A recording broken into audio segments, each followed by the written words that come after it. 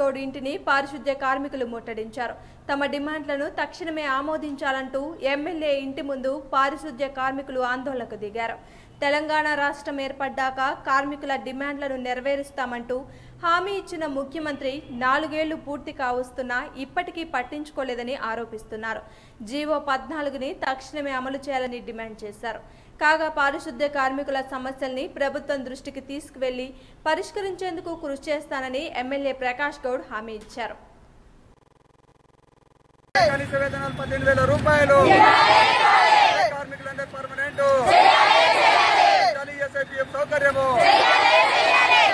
ఎస్ఐపిఎఫ్ సౌకర్యము కనీస వేతనాలు పద్దెనిమిది వేల రూపాయలు కనీస వేతనాలు పద్దెనిమిది వేల రూపాయలు.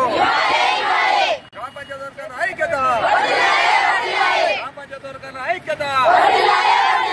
కనీస వేతనాలు పద్దెనిమిది వేల రూపాయలు. కనీస వేతనం పద్దెనిమిది వేల రూపాయలు.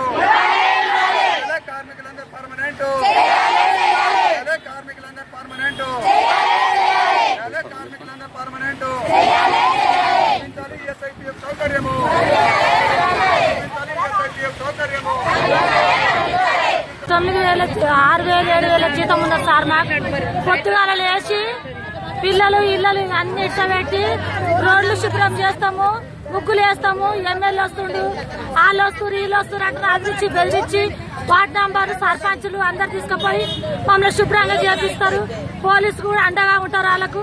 మమ్మల్ని పరిశుద్ధంగా చేపించినాక సాల్ సాలం జీతాల్లో మేము ఆ కూడా మధ్యాహ్నం దాకా అన్నం తినకుండా చాలా నీళ్ళు తాగకుండా పనిచేస్తాము మరి ఆ జీతాలు కూడా సకాలంగా వేయరు మమ్మల్ని తీ- ఏమన్నాడు? తీసేస్తాం.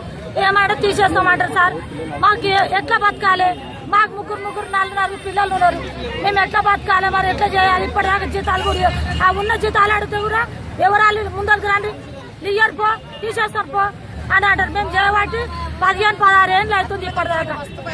కనీసం వెనక వెనక చేసిన వాళ్ళకు మున్సిపాల్ అన్న జీతం అదే పని అదే జీతం. మరి మాది అదే పని మరి అదే జీతాలు ఇస్తే చచ్చిపోతే కూడా మాకు పది రూపాయలు ఇస్తలేదు సార్. మమ్మల్ని జ్వరం పట్టించుకోవడం పట్టించుకుంటలేరు ఏ మూలకు పడితే మీకు అర్చంట్లు వేస్తున్నాం అంటున్నారు. మీకు ఏది లేదు అంటున్నారు. ఏమైంది అంటున్నారు. వచ్చి అరుచుకునేటోళ్ళు కూడా లేరు. చూసేటోళ్ళు కూడా లేరు. మా ఆ పనిలో పడితే కూడా పనిలో పడలే అంటారు. తాగిపడదు అంటారు. రోజు రాజన్న నియోజకవర్గం ప్రకాష్ అన్న గౌడ్ ఎమ్మెల్యే గారి ఇంటి ముందు గ్రామ పంచాయతీ కార్మికులంతా సమ్మె చేయడం అనే ధర్నా చేయడం అనేది జరిగింది.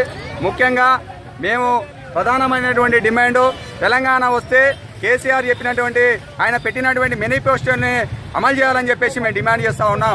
ముఖ్యంగా కేసీఆర్ ఏం చెప్పిండు?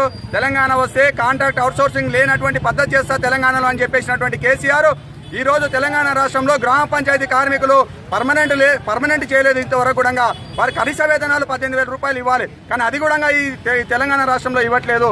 ముఖ్యంగా రాజన్న నియోజకవర్గంలో అంతర్జాతీయ విమానాశ్రయం ఉన్నటువంటి ఈ నియోజకవర్గంలో కనీసం కార్మికులకు పన్నెండు వేలు కాదు పదివేల రూపాయలు కూడా జీతాలు లేవు.